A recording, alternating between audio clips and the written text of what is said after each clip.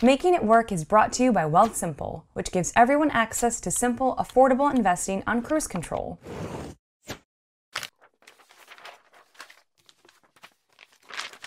The year I turned 30 marked some really big changes. I started a new job, moved into my first solo apartment, and had to make a lot of big decisions at once. This pretty much forced me to stop and take inventory of my life and my priorities. I started thinking about all the ways this next chapter of my life was already so different from the semi aimless wandering of my 20s. In particular, how what I value has changed dramatically. I make more money now than I did in my 20s, but I also think a lot more intentionally about how I spend it. Here are the six major spending swaps I've started making now that I'm 30. Number one, shoes I can wear to any wedding instead of a new dress for every wedding I attend. Remember when going to a wedding was a novelty? When the first wave of my friends started getting hitched around 25, every invitation was an excuse to overspend on a new dress tailored to the location and season of the nuptials, and probably new shoes or a clutch to match it. There were going to be professional photos taken after all. Now that I'm in my 30s and attending weddings is pretty much everyone's part time job, I rerouted those funds into two pairs of quality heels that I can actually wear for four hours without wanting to die. They go with every dress in my arsenal, and I always make it to the last dance. Number two, flying direct instead of paying for extra fees and in flight cocktails. In my 20s, budget friendly was my number one travel priority. If that meant saving $100 by taking a 1 a.m. flight with a four hour layover, I was down. But as I got older and my ability to sleep sitting up or function after being awake all night significantly diminished, I started getting smarter about my travel.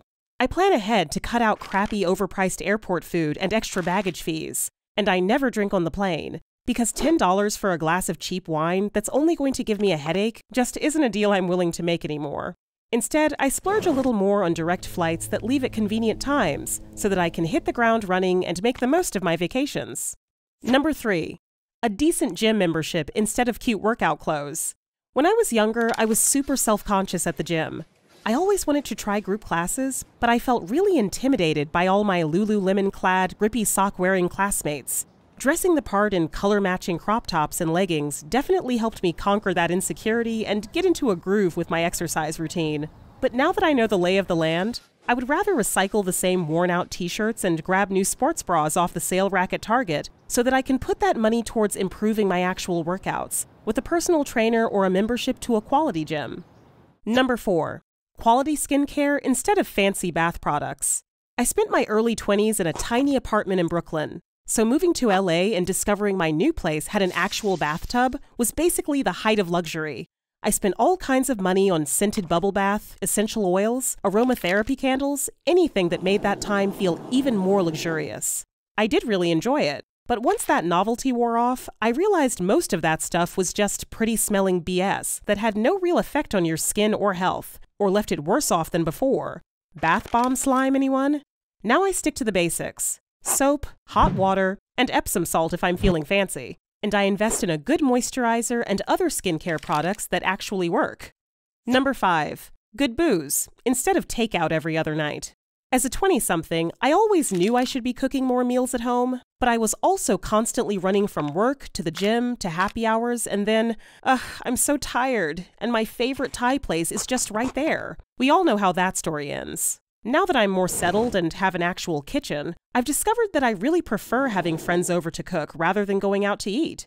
A well stocked bar is a we're grown ups dinner party staple. I love being able to offer my friends a proper cocktail when they arrive, as opposed to whatever leftover booze we can dig out of a cabinet from that party my roommate threw last month. Number six, investing in my home instead of multiple weekend getaways. For me, turning 30 marked my official induction into the Stay Home Club. I moved into my own one bedroom about a month after my birthday, and designing my new home became a full time hobby. I invested in a lot of new furniture and decor that made me happy. When I was younger, I would start itching to escape the city and my roommates every couple of weeks, blowing a ton of money on last minute tickets and accommodations. But now that my home is a place I love, I'm much happier to stay here and just enjoy the space I've created. Being intentional with your spending is a totally personal choice.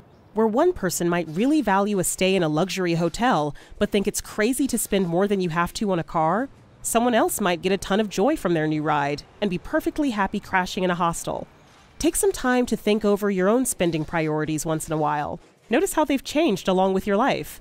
Writing down what was important to me in this new phase of my adulthood has been super clarifying and useful, and I plan to keep doing so at the end of every decade I make it to. All of our priorities change as we get older, and the more life you live, the more you realize just how important it is to take care of your future. And with a company like Wealthsimple, you can start investing in that future on cruise control.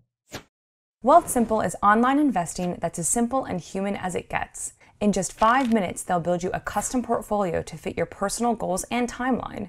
Just answer a few easy questions and they'll manage your money for you on autopilot. Set it, forget it, and let your money grow in the background. You can turn on automatic deposits as well as set up a smart savings account with higher rates than big banks for your shorter term goals, your wedding, your next great adventure, or that handbag you need.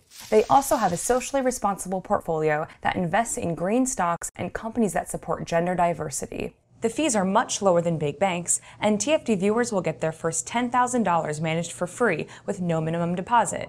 Check them out at wealthsimple.com/tfd or use the link in our description. There are no account minimums, and it only takes a few minutes to start. No excuses.